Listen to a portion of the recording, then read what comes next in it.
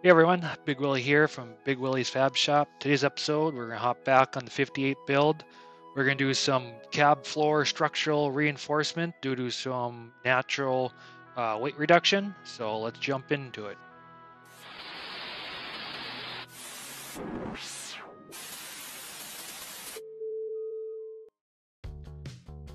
We're going to be tipping over the cab to make it much easier to weld this new steel in. Um, is laying underneath the box, welding in, cutting, torching. Yeah, that really sucked. So we're to tip it over, make it easier on myself.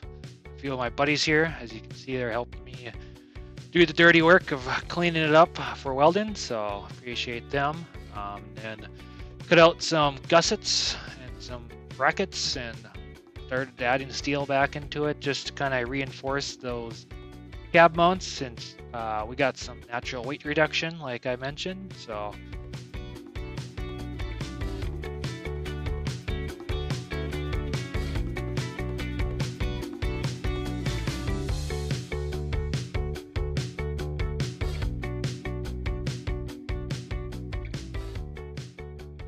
After welding on the cab, then it was time to move to finishing up welding all the brackets um, to hold the front radiator support on and the front cab mounts and then finish welding the rear cab mount brackets to the frame itself. So welding all that up to make it nice and sturdy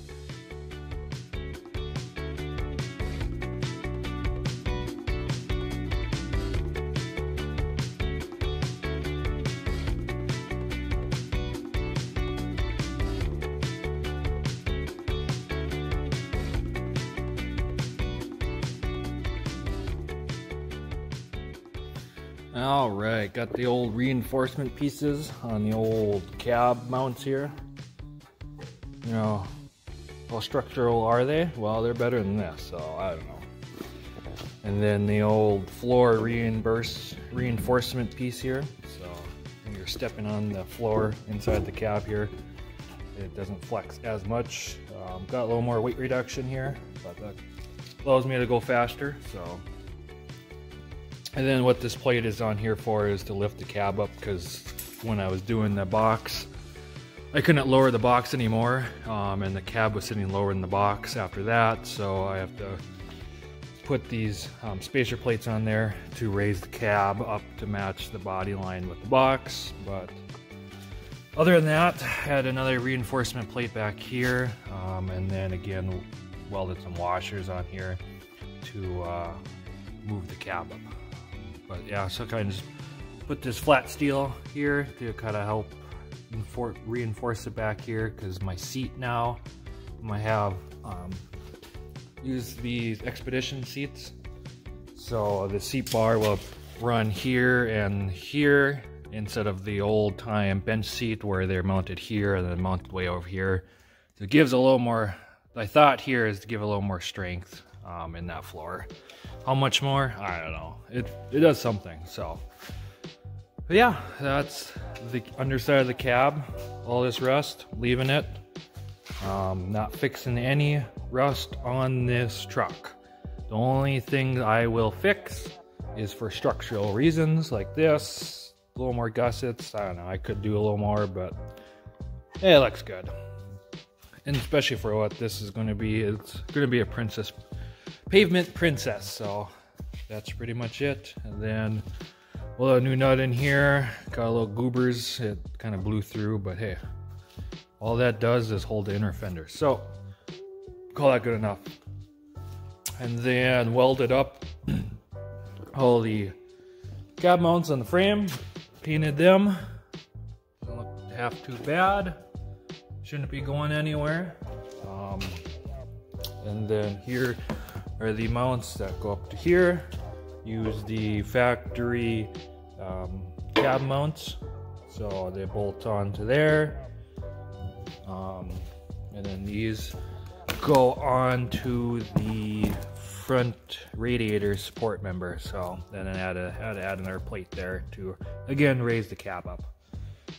Um, so yeah, so in the front, um, these are the radiator support mounts. Those doohickeys right there. They'll go onto the factory Expedition mount here, body mount, and then the front cab mount comes off of the factory Expedition cab mount here via this doohickey and then in the lastly in the rear is made the whole entire gusset or bracket to hold the rear cab mount. But, and then painted where I had to cut off the uh, cab mount for the Expedition because there's one right there.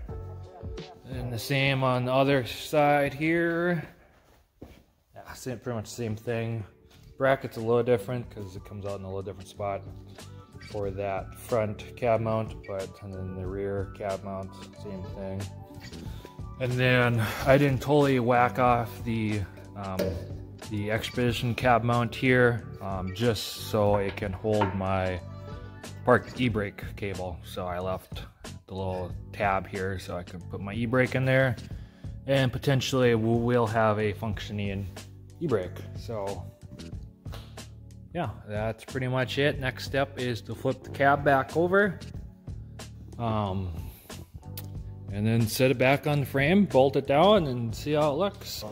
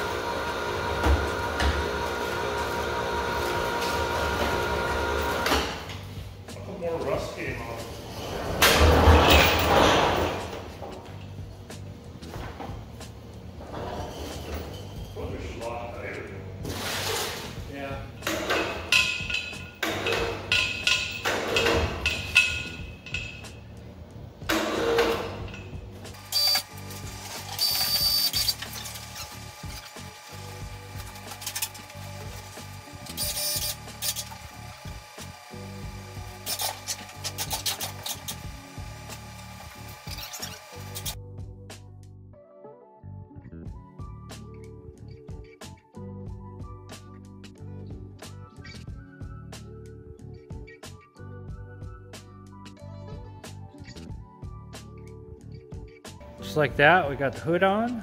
Doesn't look too bad. Still have to have some final adjusting of every all the gaps here. And but overall not too bad for this old of a truck, an old farm truck. Uh, it's a little low, the box is a little lower, but the box on this side is about quarter inch lower than the other side, so I'm gonna have to shim the box up and there's gonna be a lot of shimming here and there um, to get it dead um, accurate, but we're looking plus or minus a quarter inch in this thing, so I'm not too worried about everything, but yeah, overall looks pretty dang good. Next step is to get the steering wheel in, so that might be uh, next episode's ordeal, but should be hood open here.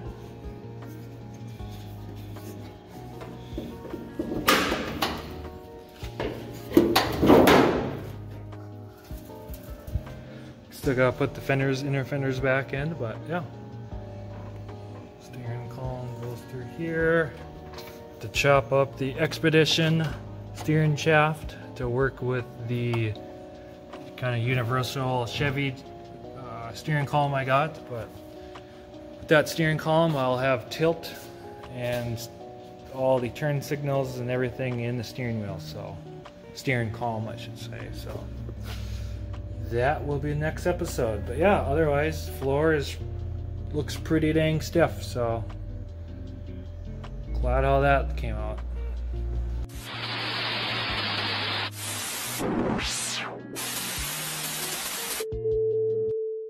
And if you're still watching, I want to say thanks for watching. Um, subscribe if you haven't subscribed yet and you like this type of content. Definitely helped me out. Um, and then here's kind of the crap I took out of those cab corners. So there's a lot of gravel and rust and you name it in there. So there's definitely a reason why I got some weight reduction going on in those corners, but they're wide open now, so nothing will collect. So foolproof. Big Willy out.